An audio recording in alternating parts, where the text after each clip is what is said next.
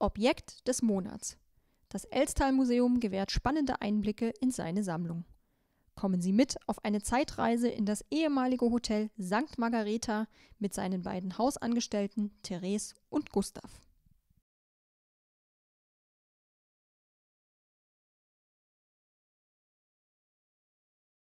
Ja, Therese, um Gottes Willen, was hast denn du da in der Taube?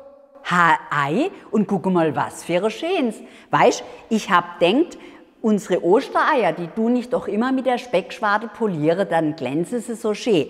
Und dennoch kennt ich doch jetzt da die Perle wenig poliere. Was meinst du, wie die Funkle tun? Ja, um Gottes Willen, das ist doch ein Kunstei.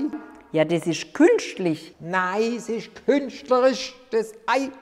Ach so? Das ist doch aus der berühmten Sammlung Blumspicker. Ah, aus Sellere mit den über 1000 Eier.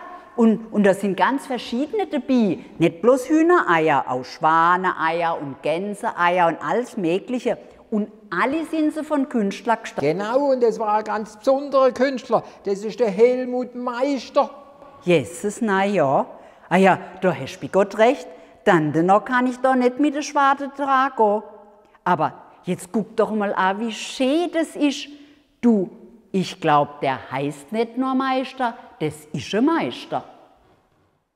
Die Ostereiersammlung von Helen Blum-Spieker gelangte 2010 als Schenkung ins Elstal-Museum. Helen Blum-Spieker leitete viele Jahre das Kreismuseum in Zons in Nordrhein-Westfalen und war eine passionierte Sammlerin von kunstvollen Ostereiern.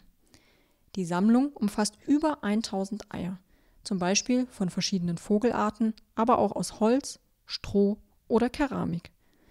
Insgesamt sind 113 Künstler aus Deutschland, Europa und der Welt vertreten, die aus den Eiern durch die Anwendung unterschiedlichster künstlerischer Techniken spektakuläre Kunstwerke formten.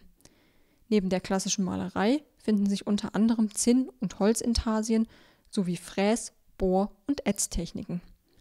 Beim hier vorgestellten Ei handelt es sich um ein Schwanenei mit Perlapplikationen, welches von Helmut Meister aus Deutschland gestaltet wurde